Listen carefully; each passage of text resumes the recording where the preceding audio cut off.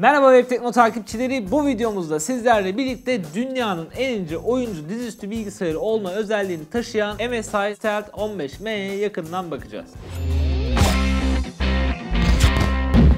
Videomuzu MSI sponsorluğunda çekiyoruz. Şimdi arkadaşlar oyuncu dizüstü bilgisayarı dediğimiz zaman hepimizin aklına gelen imge kaba saba kalın oyuncu bilgisayarları olabiliyor. Ancak burada MSI Stealth 15M'ye baktığımız zaman oldukça ince ve zarif bir dizüstü bilgisayar görüyoruz. Şimdi öncelikle oyun oynayacağız arkadaşlar. Oyun testlerimizi yapacağız. Bakalım rekabetçi oyunlarda bize neler sunacak onu bir görelim. Ondan sonra hem donanımına hem de tasarımına bakmaya devam edeceğiz. Hadi gelin oyun testlerini bir izleyelim.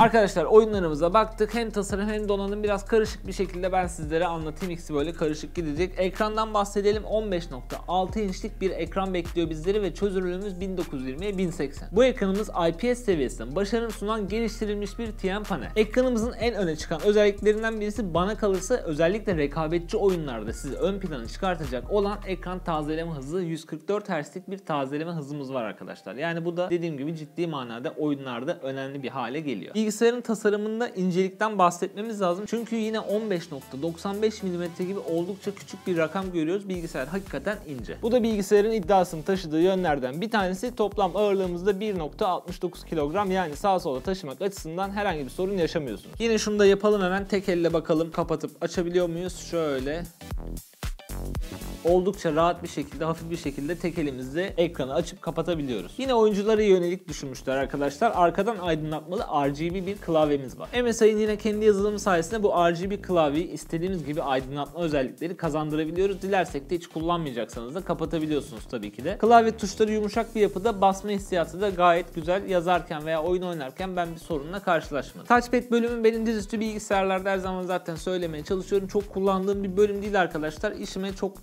lazımsa, çok gerekirse kullanıyorum. Ama yine de sade, güzel, sırıtmayan bir tasarım yapmışlar. Üzerinde herhangi bir böyle bölen fiziksel vesaire bir tuş yok. Yekpare bir touchpad'imiz var burada. Tabii ki de amacınız oyun oynamaksa tutup da bununla counter vesaire oynayacak haliniz yok. Yanında bir tane mouse eklemeniz lazım. Alüminyum bir çerçeveyle birlikte geliyor cihaz arkadaşlar. Bunun yanında iki tane farklı renk seçeneği var. Bir tanesi elimde görmüş olduğunuz Pure White diye geçiyor. Yani saf beyaz rengi gayet şık, gayet güzel durduğunu söyleyebilirim. Bir tane de karbon grisi diye bir renk seçeneği var. O da tabii ki de koyu renk severler için tasarlanmış. Şimdi birazcık da donanımdan da bahsedelim. Şöyle tasarıma genel olarak değindik. Zaten bir sürü görselle yakından sizlere göstermeye çalıştık arkadaşlar. İşlemci tarafında Intel'in dizüstü bilgisayarlarda kullandığı en yeni işlemcilerden bir tanesini barındırıyor. Tiger Lake serisine olan i7 işlemcimiz 3.0 GHz'e kadar hız sunuyor. Eğer tabii ki de turboya alırsanız 4.8 GHz'e kadar yükseltmek mümkün. Intel'in verilerine göre de bir önceki yani 10. nesil işlemciye göre 11. nesil işlemcileri %20 daha hızlı. Dahili olarak 8 GB'lık Intel Iris Xe ekran kartına sahip işlemci işlemciyle birlikte aslında bir dizi üstünden tüm beklentilerinizi karşılayabilecek durumda olduğunu söyleyebilirim. 500 GB'lık 4. nesil SSD'ye sahip olan bilgisayarda saniyede 7800 MB bölü saniyelik bir veri yazma hızını vaat ediyor. Depolama miktarı kulağa biraz düşük gelse de hızlı bir veri aktarım bulunduğu için harici birimlerle arasında dosyaları hızlıca alıp gönderebiliyorsun. Bilgisayarımızda 16 GB'lık LPDDR4 RAM'imiz var. İlerleyen günlerde tabii ki de dilerseniz bu hafızayı 32 çarpı 2 şeklinde yani 64 GB'a yükseltebileceğiniz kadar yeriniz var